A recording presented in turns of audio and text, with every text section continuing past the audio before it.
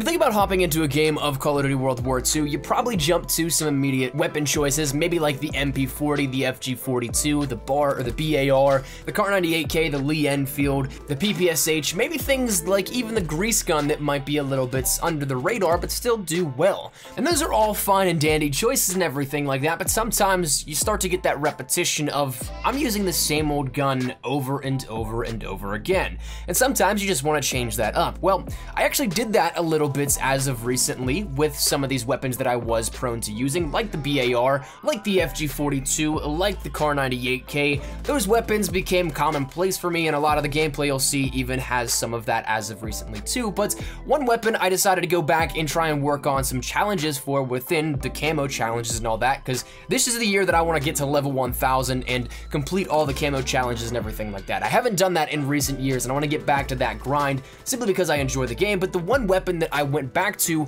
was the M1941. Now this was actually one that I really anticipated not liking because I played around with it a little bit in the beta and even at the early beta when we were out at Sledgehammer Games and it just felt clunky to me. It felt as if it was too big for the rifle category and almost as if it was as large and bulky and heavy for your character's movements as an LMG. So I didn't really stray too much from the path and test this out in the public beta for everybody and then of course I haven't really done it other than recently in the full game as of launch and up, but this thing truly is a monster. It's a machine, it'll shred through everybody, it melts, it rips, whatever you want to describe it as.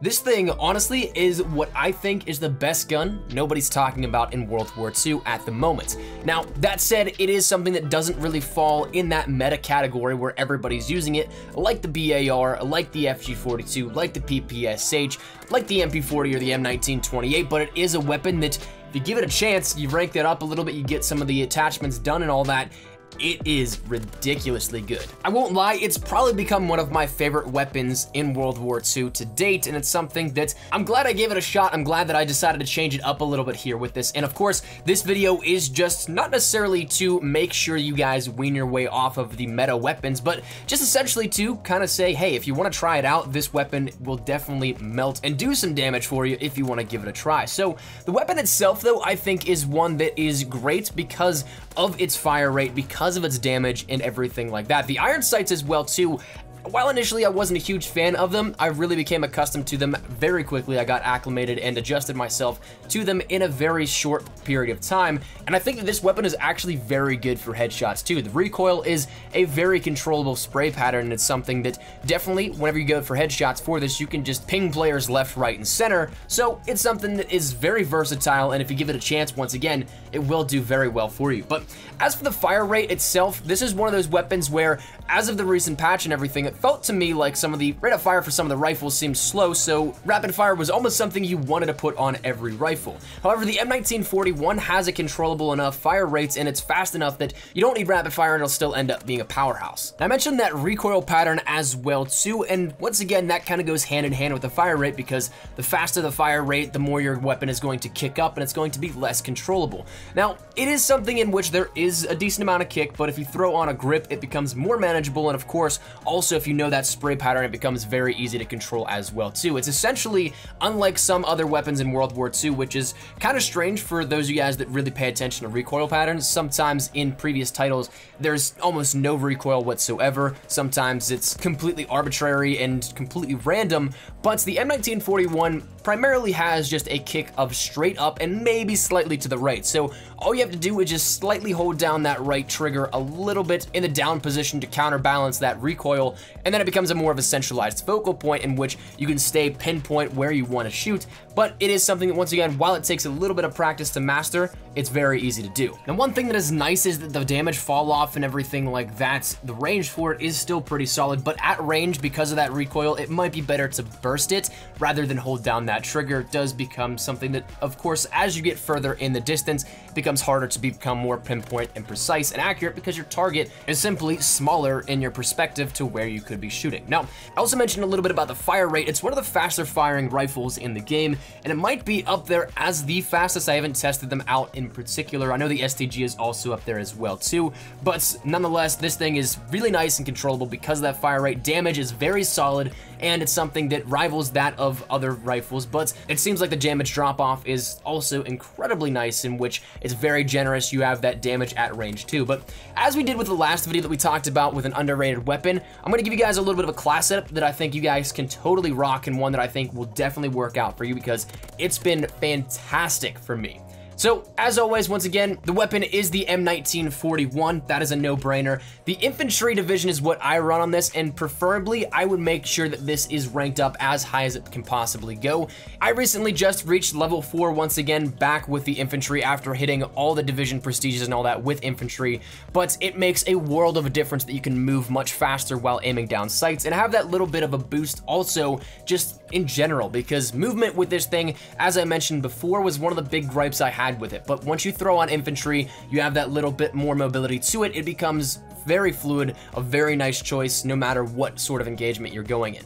Now, of course, that also helps that you have the extra ammunition and the extra attachment slot, which then with primed, you can throw on the attachments that I absolutely think are perfect with this, that giving you a total of four. So quick draw and grip are ones that I always end up rocking pretty much no matter what the circumstance, but of course that is subjective and something you could change out for something you might want in place of them, but I like to be able to snap to targets, I like to be able to get my weapon up very quickly and the grip, of course, helps to counterbalance that recoil like we mentioned.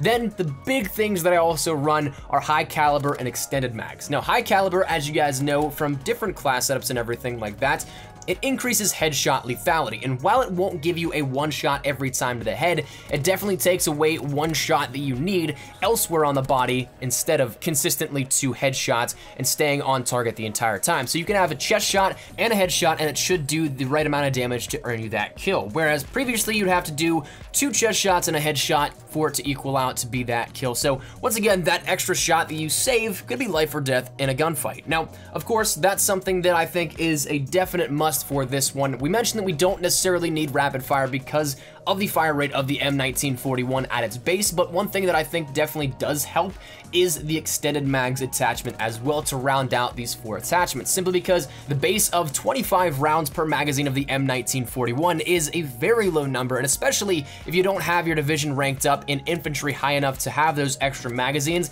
it's something you really run through ammo incredibly fast, and it's something that I think with this weapon you can stay alive long enough to the point where ammunition might actually become a factor in which you end up wanting the most so that you can stay alive longer. This thing will shred that much, but whenever you end up throwing on extended mags, it ends up giving you 37 per magazine instead of 25. So while not quite double, it is something where that 1.5 multiplier, if you want to put it that way, is definitely nice in which having the extra 12 shots can actually make a difference. We talked about you probably be able to kill in two shots if you're accurate enough and things like that, but while, say, probably rounding out to four or five shots in a gunfight, you'll have at least enough for three more gunfights out of that magazine. So definitely nice to consider and to have on, and that's gonna round out the little attachments I run here on this, but I think it absolutely is a monster of a weapon. Now the class, the secondary, once again, is kind of irrelevant because I don't use it all that much. It's primarily just for the M1941, but for what it's worth, I rock the P08 or the 1911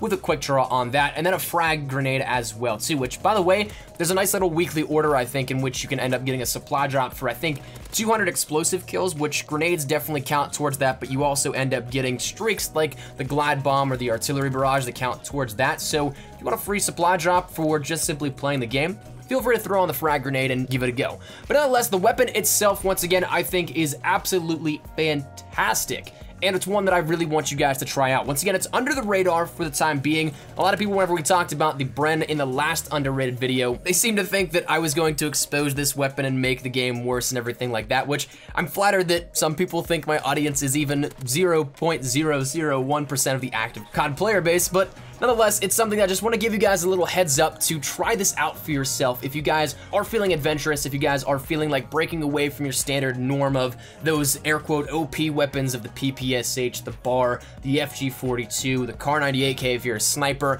things like that. If you just want to change up the dynamic and a little bit of how you play, give this weapon a try and I promise that you will do well with it. And especially if you try that little class setup I threw in here as well too, I think you'll definitely just rip through any enemy that comes in your way. But that said, that's where we're going to wrap it up, I'd love to get your thoughts and feedback here down there on this weapon. What do you guys think of this? And of course, feel free to tweet me or post in the comments below your results with this weapon. If you guys have any killer gameplays, feel free to share it with me. And of course, we'll talk further more on different things over on Twitter or wherever it may be. But nonetheless, I'd love to get your thoughts and feedback here on this weapon. I think I'm going to continue doing underrated weapons because, you know what, going for some of these challenges, man, I feel like I get some of these underrated weapons that just come out of the woodworks, and for me, they just work perfectly. So I love being able to take a look at some of this stuff and letting you guys know about a weapon you might not necessarily use all that much, but if possible, I'd love to get it in your hands and let you guys have a great time with it. So that said, hopefully you guys enjoyed the video. If you guys did, make sure you drop a like down below. And of course, if you guys are new to the channel, make sure you guys subscribe to stay up to date with everything we have here regarding Call of Duty World War II, any information regarding best class setups, best weapons, underrated weapons, leaks, news, information, whatever it may be. If you guys are interested in any of that, make sure you hit that subscribe button so you don't miss a beat. And finally, if you guys want to follow me over on Twitter, that's the best place to get connected with me outside of YouTube. I practically live on Twitter, so if you guys want to strike up a conversation, ask me a question, whatever it may be, link is down there in the description below. But all that said out of the way, hope you guys had a fantastic day. Thanks so much for watching. Mine is an espresso. I'll see you guys later. Take care and peace.